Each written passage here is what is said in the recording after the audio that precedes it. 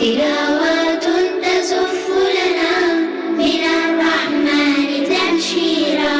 تلاوات كأن بها لداود مزاميرا. وكم أهدت طلاوته قلوب الناس تنويرا. تزف لنا من الرحمن تبشيرا. بسم الله الرحمن الرحيم.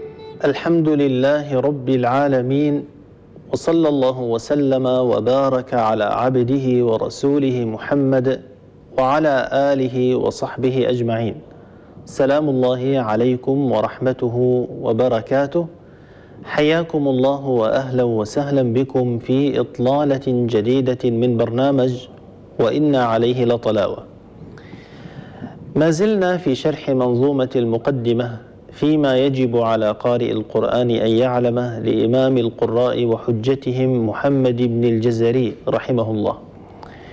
وما زلنا في شرح باب المد والقصر الذي يقول الناظم فيه والمد لازم وواجب أتى وجائز وهو وقصر ثبتا فلازم إن جاء بعد حرف مد ساكن حالين وبالطول يمد. وواجب إن جاء قبل همزة متصلا إن جمع بكلمة. وجائز إذا أتى منفصلا أو عرض السكون وقفا مسجلا. بدأنا شرح أحكام المد والقصر في تلاوة القرآن الكريم. وبدأنا شرح المدود. التي لا غنى لقارئ القرآن عن معرفتها ولا يسع قارئ القرآن جهلها أبدا. وذكرنا أن هذه المدود تسعة.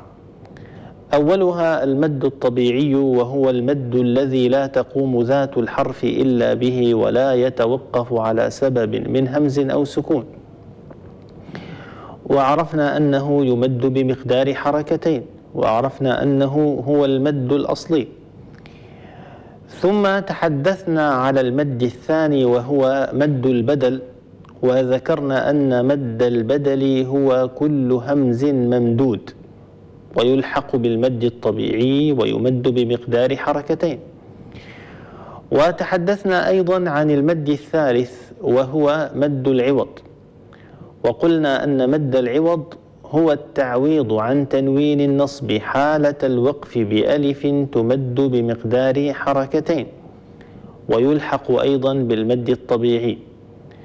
ثم انتقلنا إلى المدود التي سببها همزة وتحدثنا أولا عن المد الجائز المنفصل وقلنا هو أن يأتي حرف المد في آخر الكلمة الأولى وهمزة القطع في أول الكلمة الثانية أو التالية وذكرنا أنه يمد في رواية الإمام قالون رحمه الله تعالى بمقدار حركتين أو بمقدار أربع حركات.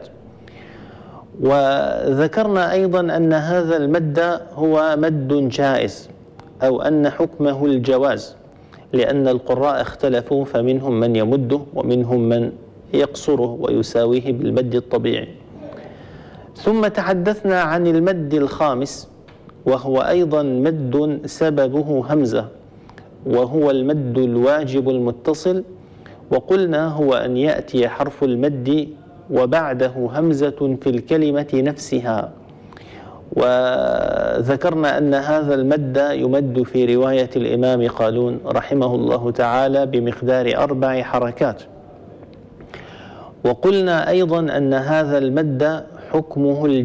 حكمه الوجوب لأن القراء أجمعوا على مده وأجمعوا على مق... واختلفوا في مقداره كلهم أجمع أن يمد هذا المد وأن يزيده عن مقدار المد الطبيعي لكنهم اختلفوا في مقدار هذا المد فمنهم من يمده بمقدار أربع حركات أو بمقدار خمس حركات أو بمقدار ست حركات. ثمة اختلاف في مقداره ولكن الاتفاق هو من حيث المد. فكل القراء أجمعوا على مده. وذكرت لكم أثرا في حلقة مضت حينما كان سيدنا ابن مسعود رضي الله تعالى عنه صحح لقارئ قرأ قوله تعالى إنما الصدقات للفقراء والمساكين. فلما قرأ هذا القارئ لفظ للفقراء ولم يمد المد ولم تكن القواعد قد قعدت في ذلك الزمن وفي ذلك الوقت فقال له ابن مسعود ما هكذا أقرأنيها رسول الله صلى الله عليه وآله وسلم؟ فقال له الرجل وكيف أقرأكها يا أبا عبد الرحمن؟ فقرأ إنما الصدقات للفقراء ومد بها صوته. في الحلقة الماضية وقف بنا الحديث عند مد الصلة وهو المد السادس الطبيعي البدل العوض والجائز المنفصل والواجب المتصل. المد السادس هو مد الصلة. وذكرنا أن هذا المد يتعلق بهاء في لغتنا العربية تسمى بهاء الكناية أو تسمى بهاء الضمير وهي هاء زائدة يكنى بها على المفرد المذكر الغائب. وذكرنا أنها تكون في أواخر الأسماء وفي أواخر الأفعال وفي أواخر الحروف. وذكرنا أن هذه الهاء إذا وقعت بين حرفين متحركين يعني قبلها حرف متحرك وبعدها حرف متحرك فإننا نصلها بواو اللفظية إذا كانت الهاء مضمومة والأصل أن تكون الهاء مضمومة. ونصلها بياء لفظية إذا كانت الهاء مكسورة. وهي تكسر الهاء إذا سبقت بكسرة أو سبقت بياء ساكنة. مثلا إنه على رجعه لقادر. إنه على عندنا هاء كناية وقعت بين حرفين متحركين. سبقت بفتحة النون وبعدها إنه على وبعدها فتحة العين فهي وقعت بين حرفين متحركين. فإننا نصلها بواو اللفظية يعني تكون في اللفظ فقط ولكنها لا تكتب. هكذا إنه على إنه على رجعه لقادر. أيضا رجعه آه، في آخرها هاء كناية. سبقت بكسرة العين. وبعدها فتحة اللام. فهي وقعت بين حرفين متحركين وتحقق فيها الشرط. إذا نصلها بياء اللفظية إنه على رجعه لقادر. على رجعه لقادر. هذا هو الشرط. الشرط أن تقع بين حرفين متحركين. آه ذكرنا في الحلقة الماضية آه أيضا أن مد الصلة ينقسم إلى قسمين صلة كبرى وصلة صغرى. الصلة الصغرى هو أن يكون بعد الهاء أي حرف من حروف آه الهجاء غير الهمزة. والصلة الصغرى تمد بمقدار حركتين وتلحق بالمد الطبيعي. أما إذا وقع بعد هاء الكناية همزة فهذه صلة كبرى. مثلا يحسب أن ماله أخلد. ماله أخلده. هاء الكناية بعدها همزة. هذه صلة كبرى وتمد كالمد المنفصل سواء بسواء يعني إذا كنا نمد المنفصل بمقدار حركتين نمد الصلة الكبرى بمقدار حركتين. وإن كنا نمد المتصل بمقدار استغفر الله المنفصل. إذا كنا نمد المد المنفصل بمقدار أربع حركات نمد الصلة الكبرى بمقدار أربع حركات. وذكرت لكم تنبيهات في الحلقة الماضية لا داعي لذكرها في هذه الحلقة. وقف بنا الحديث هل هذه القاعدة التي شرحناها وهي صلة هاء الضمير أو صلة هاء الكناية بواو اللفظية إذا كانت مضمومة وبياء لفظية إذا كانت مكسورة إذا وقعت بين حرفين متحركين. هل هذه القاعدة تنطبق على كل هاءات الكناية في القرآن الكريم من أوله إلى آخره؟ أم أن هناك استثناءات؟ الإجابة نعم هناك استثناءات وهي تسع هاءات كناية في أو في أواخر تسع كلمات جاءت في آه ثلاثة عشر موضعا في القرآن العظيم. إذا هم تسع كلمات في آخرها هاءات كناية.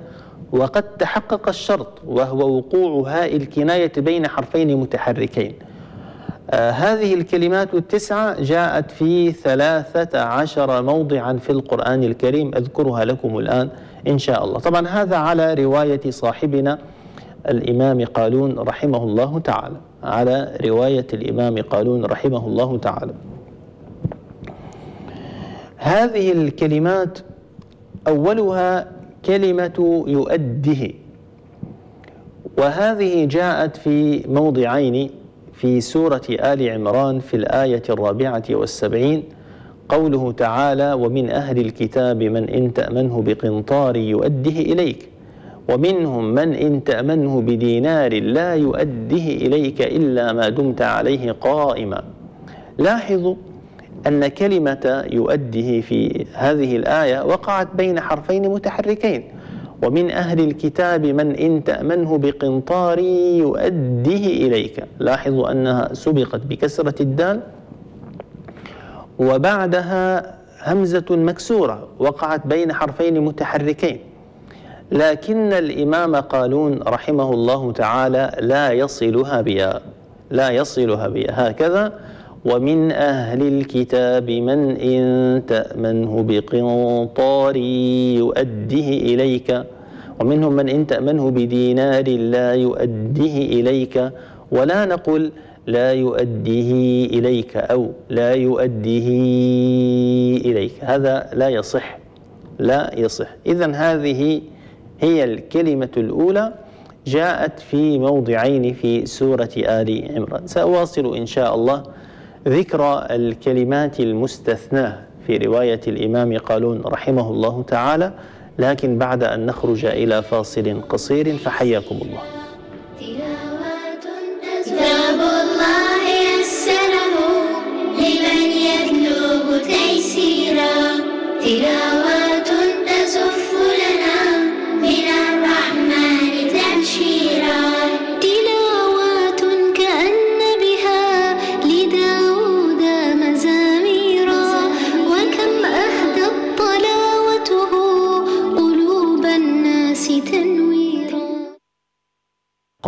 النبي صلى الله عليه وسلم. من يرد الله به خيرا يفقهه في الدين. ضمن مشروع خدمة العلم وأهله تعلن مؤسسة التناصح للدعوة والثقافة والإعلام عن توفير مؤلفات فضيلة مفتي عام ليبيا. الشيخ الدكتور الصادق بن عبد الرحمن الغرياني بأسعار مناسبة للمكتبات وطلبة العلم. للشيخ حفظه الله تعالى مؤلفات عدة. منها مدونة الفقه المالكي وأدلته. فتاوى المرأة المسلمة. العقيدة الإسلامية. العبادات أحكام وأدلة. الأسرة أحكام وأدلة. شرح مقدمة ابن أبي زيد القيرواني في العقيدة وكثير غيرها. للحجز والاستفسار يمكنكم زيارتنا بمقر مركز الشيخ علي الغرياني للكتاب الكائن بمدينة طرابلس تاجوراء بالقرب من المعهد العالي للعلوم الشرعية أو من خلال الاتصال بنا عبر الهاتف أو خدمة واتساب على الرقم التالي صفر تسعة واحد صفر صفر اثنين خمسة تسعة ستة سبعة أو عبر التواصل على صفحة الفيسبوك باسم مطبوعات ومنشورات مؤسسة التناصح للدعوة والثقافة والإعلام.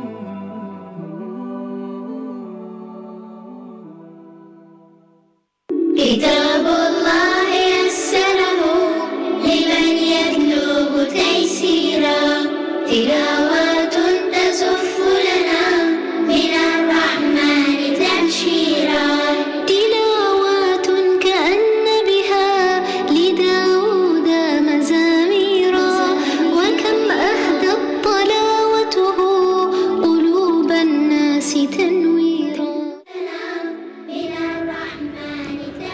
السلام عليكم حياكم الله واهلا وسهلا بكم من جديد.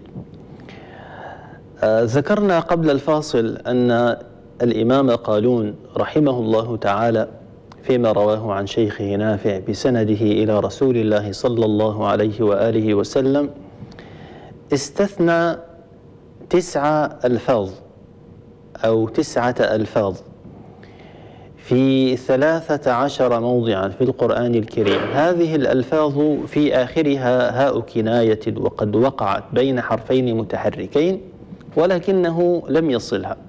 لم يصلها آه، بياء لفظية أو بواو لفظية. وطبعا هو فعل هذا عملا بالأصل وليس عملا بالحال.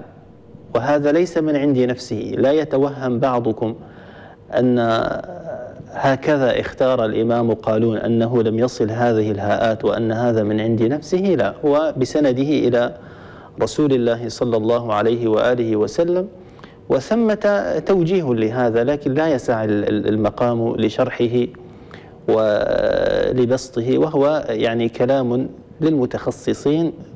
أغلب الناس ممن يتابع ويشاهد قد لا يفقه ما سأذكره وأشرحه ولذلك يعني أتركه إن شاء الله.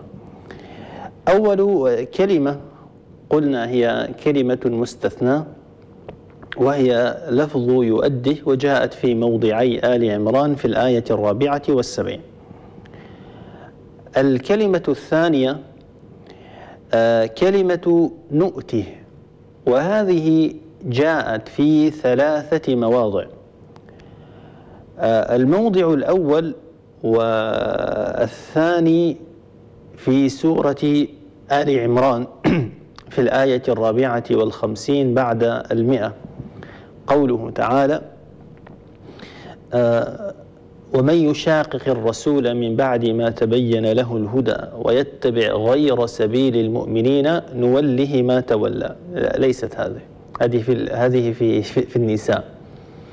لا إله إلا الله. وما كان لنفس أن تموت الا نعم هي هذه. وما كان لنفس أن تموت إلا بإذن الله كتابا مؤجلا. ومن يرد ثواب الدنيا نؤته منها ومن يرد ثواب الآخرة نؤته منها. جاءت في موضعين. لاحظوا نؤته منها سبقت بكسرة التاء وبعدها كسرة الميم. هي وقعت بين حرفين متحركين. وتحقق فيها الشرط ولكنها لا توصل بياء لفظية فهي كلمة مستثنى. أيضا هذه الكلمة جاءت في سورة الشورى. آه، قوله تعالى من كان يريد حرث الآخرة نزيد له في حرثه ومن كان يريد حرث الدنيا نؤته منها وما له في الآخرة من نصيب. أصعب شيء هو استحضار الآية من أولها. نؤته منها وما له في الآخرة من نصيب. فهذه أيضا مستثنى.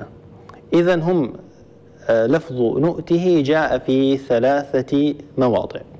موضعان بآل عمران وموضع بالشورى في الآية الثامنة عشر. الكلمة الثالثة كلمة نوله. وهذه جاءت في سورة النساء في الآية الرابعة عشر بعد المئة قوله تعالى ومن يشاقق الرسول من بعد ما تبين له الهدى ويتبع غير سبيل المؤمنين نوله ما تولى نوله ما تولى. هذه كلمة آه، لاحظوا أن وقعت بين حرفين متحركين. أيضا الكلمة الرابعة كلمة نصله وجاءت في نفس هذه الآية نوله ما تولى ونصله جهنم. لاحظوا أن الهاء وقعت بين حرفين متحركين سبقت بكسرة اللام.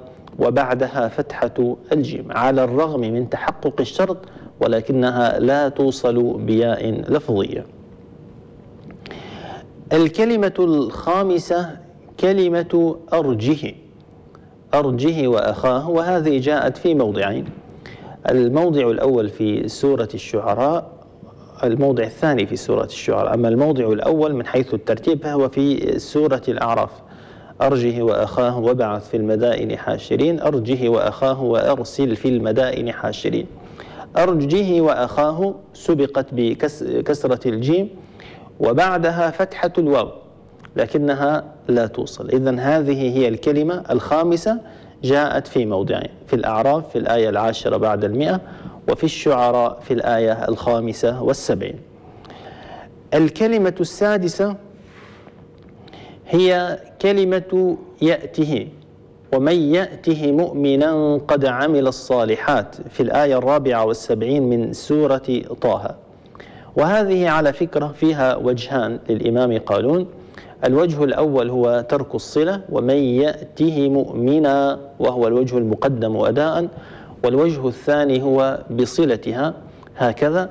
ومن يأته مؤمنا ومن يأته مؤمنا إذا عندنا الصلة وعدم الصلة وعدم الصلة هو المقدم.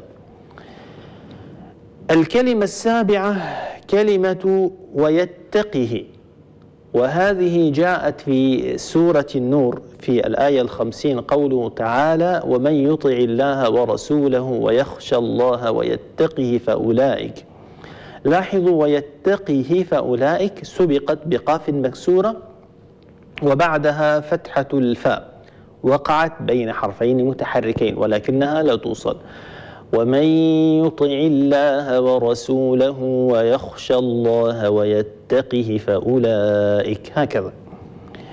الكلمة الثامنة كلمة فألقه. وهذه جاءت في سورة النمل في الآية الثامنة والعشرين. على لسان نبي الله سليمان عليه وعلى نبينا الصلاة والسلام.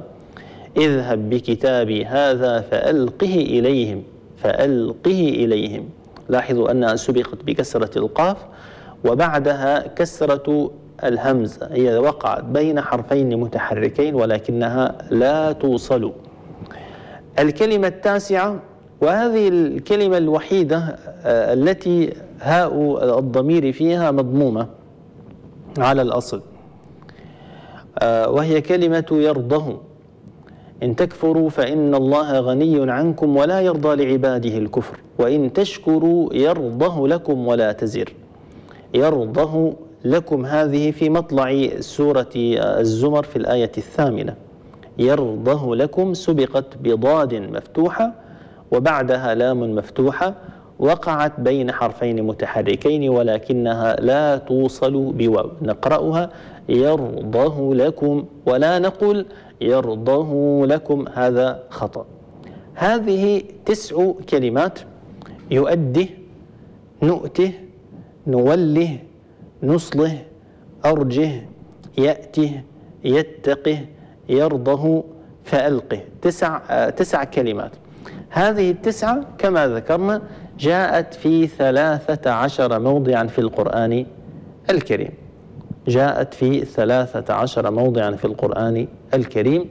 هذه تحقق فيها شرط وهو وقوعها بين حرفين متحركين ولكنها لا توصل خلافا للقاعدة التي ذكرناها لكم وهي إذا وقعت هاء الكناية بين حرفين متحركين فإنها توصل بياء لفظية إذا كانت الهاء مضمومة وتوصل بواو لفظية إذا كانت الهاء بواو لفظية إذا كانت الهاء مضمومة. بياء لفظية إذا كانت مكسورة وبواو لفظية إذا كانت مضمومة. إذا كان الحرف الذي بعدها همزة فهذه صلة كبرى. تمد كالمد المنفصل. إن كنا نمد المنفصل بمقدار حركتين نمد بمقدار حركتين. وإن كنا نمد المنفصل بمقدار أربع حركات نمد بمقدار أربع حركات. أما إن كان الحرف الذي وقع بعد هاء الكناية غير همزة فإن الصلة صلة صغرى تمد بمقدار حركتين فقط وتلحق بالمد الطبيعي. هذا هو كل ما يتعلق بمد الصلة. انتبهوا آه هاء الكناية هي هاء زائدة يعني مثلا آه مثلا كلمة على سبيل المثال كلمة وجه وكلمة فواكه وكلمة ينتهي هذه ليست هاءات زائدة وليست بهاءات كناية هذه هاءات من أصل الكلمة فلا بد أن نميز. هاء الكناية هي هاء زائدة. آه أيضا انتبهوا للهاء في آخر آه اسم الإشارة هذه فهذه العرب الهاء في آخرها تعاملها معاملة هاء الكناية ولكنها ليست بهاء كناية. أيضا إيش ثاني؟ أيضا أيضا الهاءات السكت. طبعا في هاءات في اللغة تسمى بهاءات السكت. تستخدمها العرب لبيان حركة الحرف الأخير مثلا كتابية حسابية يتسنه فبهداه مقتده هذه هاءات ساكنة في أواخر بعض الكلمات فهذه تسمى بهاءات السكت وليست بهاءات كناية. هاء الكناية هي هاء زائدة يكنى بها على المفرد إذا خرج المثنى وخرج الجمع. المذكر يعني خرج المؤنث آه الغائب خرج الحاضر. هي هاء زائدة يكن بها على المفرد المذكر الغائب. وهذا شرحته باستفاضة شرحا وافيا كافيا في الحلقة الماضية. هذا هو كل ما يتعلق بمد الصلة. في رواية الإمام قالون رحمه الله تعالى لأني ألحقته بالكلمات المستثناة في رواية الإمام قالون رحمه الله تعالى. إذا الآن أنهينا الحديث عن المدود التي سببها همزة. في مطلع حديثنا عن المدود قسمنا المدود في القرآن الكريم إلى ثلاثة أقسام لو تذكرون هذا. آه، القسم الأول قلنا المد الطبيعي وهو المد الذي لا تقوم ذات الحرف إلا به ولا يتوقف على سبب من همز أو سكون. وقلنا أن هذا المد ليس له سبب فهذا قسم وهي المدود التي ليس لها سبب. على رأسها المد الطبيعي وألحقنا به مد البدل وألحقنا به مد العوض وألحقنا به أيضا الصلة الصغرى. هي لما تقع هاء الكناية بين حرفين متحركين والحرف الذي بعدها ليس بهمزة. قلت لكم هذا نلحقه بالمد الطبيعي. إذا هذا قسم. القسم الثاني هي مدود سببها همزة. وذكرنا أنه عندنا نوعان لأسباب المد. عندنا مد سببه همزة أو عندنا مدود سببها همزة وعندنا مدود سببها سكون. المدود التي سببها همزة أنهينا الحديث عنها بحديثنا عن مد الصلة. المدود التي سببها همزة ثلاثة. المد الجائز المنفصل حرف مد في آخر الكلمة الأولى والهمزة في أول الكلمة التالية يمد بمقدار حركتين أو بمقدار أربع حركات والمد الواجب المتصل حرف مد وبعده همزة في الكلمة نفسها يمد بمقدار أربع حركات والمد الثالث الذي سببه همزة هو الصلة الكبرى. هاء كناية وقعت بين حرفين متحركين والحرف الذي بعدها همزة. هذا نمده كالمد المنفصل. إن كنا نمد المنفصل بمقدار حركتين مددناه بمقدار حركتين. وإن كنا نمد المنفصل بمقدار أربع حركات مددناه بمقدار أربع حركات. لا نخلط. لا بد أن يساوي المد المنفصل. لا بد أن يساوي المد المنفصل. لا نخلط يعني. نمد هنا أربع حركات ونمد هنا حركتين. أو العكس لا لا هذا لا يصح. لابد أن نساويه بالمد المنفصل تماما. إذا هذه مدود سببها همزة. ما الذي يبقى؟ يبقى القسم الثالث. وهي مدود سببها سكون. سببها مجيء السكون بعد حرف المد. وهذه أيضا ثلاثة. المد اللازم ومد اللين والمد العارض للسكون ثلاثة مدود. إن شاء الله سنشرع في شرحها في الحلقة القادمة. أما الآن فنكتفي بهذا القدر من المادة العلمية. نخرج الآن إلى فاصل قصير. بعده إن شاء الله نتلو التلاوة المنهجية ونفتح الهواء لكم لمن أراد منكم أن يسمعنا قراءته أو لمن أراد أن يسأل في علم التجويد. فحياكم الله.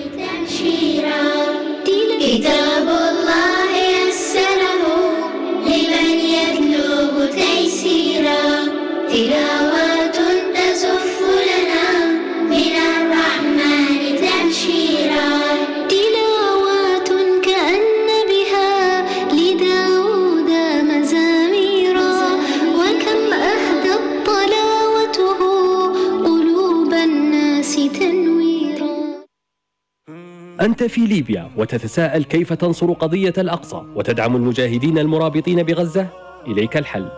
إخواننا في غزة بأمس الحاجة للدعم المادي ومن باب ويؤثرون على أنفسهم ولو كان بهم خصاصة. فعلينا أن نقدم الإنفاق على غزة والمجاهدين قبل الإنفاق على أنفسنا. الأمة الآن في حال جهاد مع الكيان المحتل وأوجب الجهاد لنا في ليبيا الإنفاق عليهم. ففي الحديث من جهز غازيا في سبيل الله فقد غزا. ومن خلف غازيا في سبيل الله بخير فقد غزا.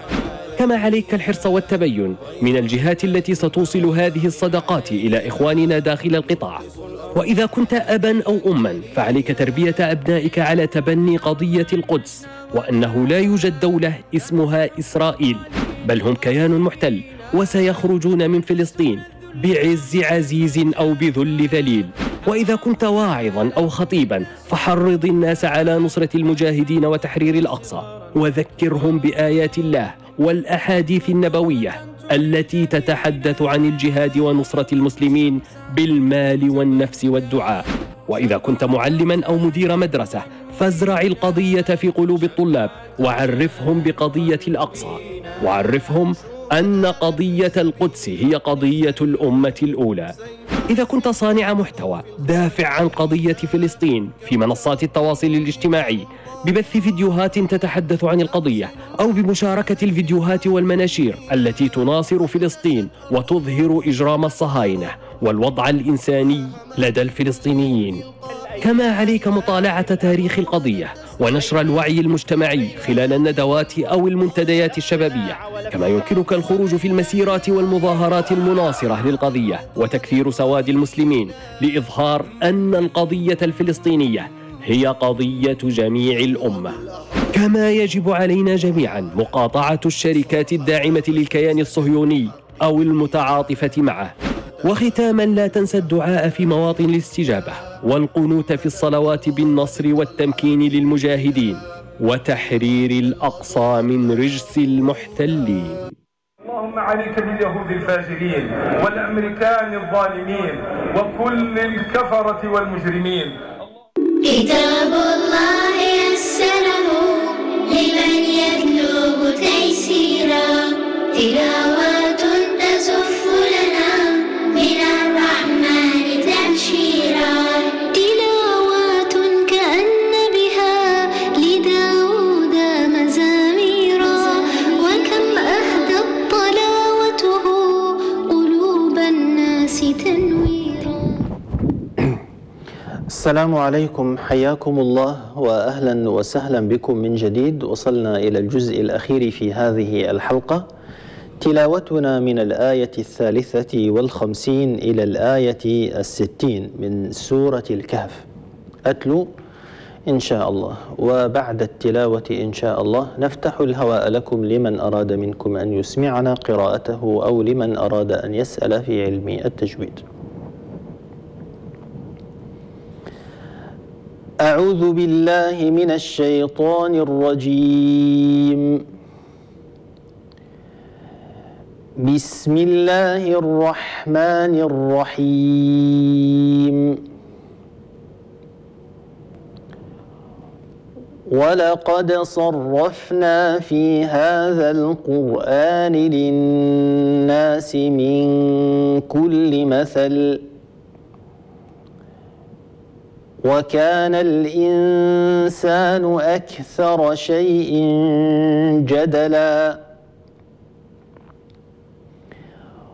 وما منع الناس أن يؤمنوا إذ جاءهم الهدى ويستغفروا ربهم إلا أن تأتيهم سنة الأولين أو يأتيهم العذاب قبلا وما نرسل الم وما نرسل المرسلين إلا مبشرين ومنذرين ويجادل الذين كفروا بالباطل ليدحضوا به الحق واتخذوا آياتي وما أنذروا هزؤا ومن أظلم ممن ذكر بآيات ربه فأعرض عنها ونسي ما قدمت يداه إنا جعلنا على قلوبهم أكنة أن يفقهوه وفي آذانهم وقرا وإن تدعهم إلى الهدى فلن يهتدوا إذا أبدا وربك الغفور ذو الرحمه لو يؤاخذهم بما كسبوا لعجل لهم العذاب بل لهم موعد لن يجدوا من دونه موئلا وتلك القرى أهلكناهم لما ظلموا وجعلنا وجعلنا لمهلكهم موعدا واذ قال موسى لفتاه لا ابرح حتى ابلغ مجمع البحرين أو امضي حقبا فلما بلغا مجمع بينهما نسيا حوتهما فاتخذ سبيله في البحر سربا صدق الله العظيم.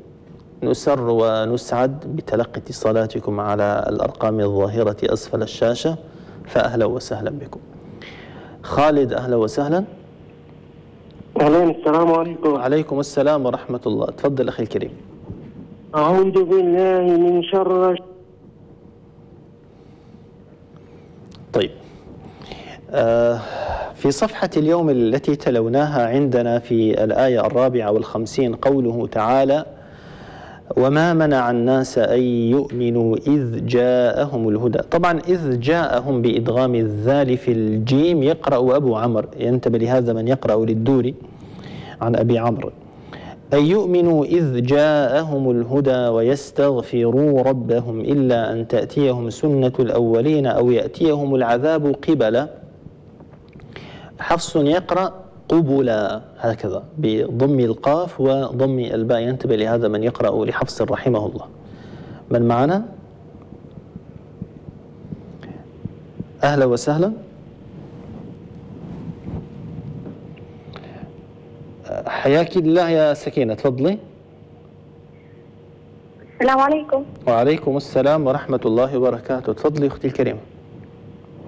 أعوذ بالله من الشيطان الرجيم. ولقد صرفنا في هذا القرآن للناس من كل مثلا من كل مثل. آه، تقرأي غيبا أم أم من المصحف يا سكينة؟ من المصحف. تمام. آه، ولقد صرفنا في هذا القرآن للناس من كل مثل. مثل كيف مكتوبة؟ كسرة. آه، تنوين بالكسر صح؟ لا. خلاص ليش مد العوض؟ ما نقولوش مثلا نقولوا مثل هكذا. من كل مثلا لا لا لا. من كل مثل مثل. لو لو لو ك لو اسمعيني اسمعيني مثل. اسمعيني.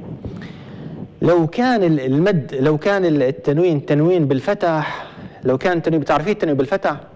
إيه. لو كان تنوين بالفتح كنا نوقفوا زي ما وقفتي انت لكن بما أن التنوين هنا تنوين بالكسر فنوقفوا اللام نوقفوا لها بالسكون. نقولوا من كل مثل مثل. مثل. نعم. من كل مثلا رجعتي مثلا. من كل مثل. من كل مثل وكان الإنسان أكثر شيء جدلا. أعيديها وقفي على كلمة مثل. ولقد صرفنا في هذا القرآن للناس من كل مثل. أنت حافظتها غلط يا يا سكينة. من كل مثل. من كل مثل. تمام صليها صليها. صليها أفضل. نعم مثل وكان الإنسان. من كل مثل وكان الإنسان أكثر شيء جدلا. وما من وما منع الناس أن وما منع الناس وما منع الناس السين عليها فتحة انتبهي لها. وما منع الناس أن يؤمنوا إذ جاءهم الهدى ويستغفروا ربهم إلا أن تأتيهم سنة الأولين أو يأتيهم العذاب قب- قبلا تمام. نعم استمري.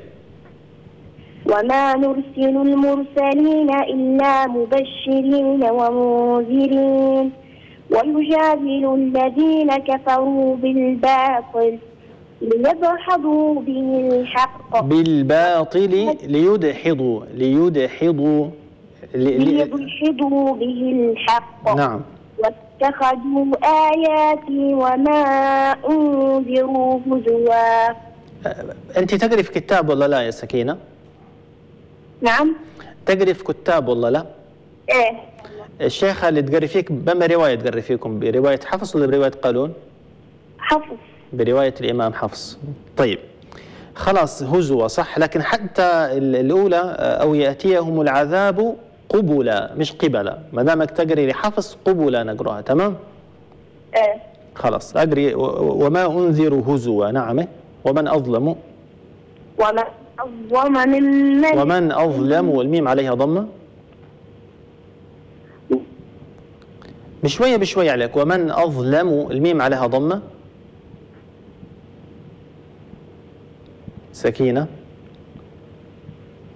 بارك الله فيك يا سكينة. زادك الله توفيقا. نسأل الله أن يعينك وأن يحفظك. انتبهي للكلمات التي نبهتك آه، إليها. آه، ننتقل إلى حياة. أهلا وسهلا. السلام عليكم. وعليكم السلام ورحمة الله. أهلا وسهلا أختي الكريمة تفضلي أعوذ بالله من الشيطان الرجيم. بسم الله الرحمن الرحيم. ولقد صرفنا في هذا القرآن للناس من كل مثل. وكان الإنسان أكثر شيء جدلا. وما منع الناس أن يؤمنوا إذ جاءهم الهدى ويستغفروا ربهم. ويستغفروا ربهم إلا أن تأتيهم سنة الأولين. إلا أن تأتيهم سنة الأولين أو يأتيهم العذاب قبلا. وما نرسل المرسلين إلا مبشرين ومنذرين. ويجادل الذين كفروا بالباطل ليدحضوا به الحق. واتخذوا آياتي وما أنذروا هزؤا ومن أظلم ممن افترى. ومن أظلم ممن؟ ممن ذكر بآيات ربه. ومن أظلم ممن ذكر بآيات ربه فأعرض عنها فأعرض عنها ونسي ما قدمت يداه. إنا جعلنا على قلوبهم أكنة أن يفقهوه أكنة أن يفقهوه وفي آذانهم وقرا. وإن تدعهم إلى الهدى فلن يهتدوا إذا أبدا. حسبك و... حسبك بارك الله فيك أختي الكريمة. زادك الله حرصا وزادك توفيقا. قراءة جيدة. بارك الله فيك. معنا مروة أهلا وسهلا. السلام عليكم. وعليكم السلام ورحمة الله. تفضلي يا مروة أهلا وسهلا. أعوذ بالله من الشيطان. بسم الله الرحمن الرحيم. محمد رسول الله والذين معه أشداء على الكفار أشداء على الكفار رحماء بينهم. اللهم ارضى عنهم. تراهم ركعا سجدا يبتغون فضلا من الله ورضوانا مما في وجوههم أثر السجود. ذلك مثلهم في التوراة ومثلهم في الإنجيل. كزرع أخرج شطأه فآزره فاستغلظ فاستوى على سوقه يعجب الزرع ليغيظ بهم الكفار. وعد الله الذين آمنوا وعملوا الصالحات منهم مغفرة منهم مغفرة وأجرا عظيما. بارك الله فيك يا مروة. قراءة جيدة زادك الله توفيقا. فقط دائما انتبهي للتفريق بين الضاء والضاد. مثلا ليغيظ ضاء هنا من طرف اللسان مع أطراف الثنايا العليا. مثل العظيمة التي قرأتها صحيحة. عظيمة. هذه ضاء تخرج من طرف اللسان مع أطراف الثنايا العليا. تحدثنا على كلمة هزوة. ذكرنا أن حفصا يقرأ هزوة. ينتبه لهذا من يقرأ لحفص. آه طيب ومن أظلم ذكر يتفاعرض عنها ونسي ما قدمت يدا إنا جعلنا على قلوبهم أكنة هذه ليس فيها شيء الآية التي بعدها آه وربك الغفور ذو الرحمة لو يواخذهم ورش رحمه الله بإبدال الهمزة واوا آه لعجل لهم العذاب بل لهم موعد لا من دونه موئلا وتلك القرى أهلكناهم لما ظلموا وجعلنا لمهلكهم موعدا.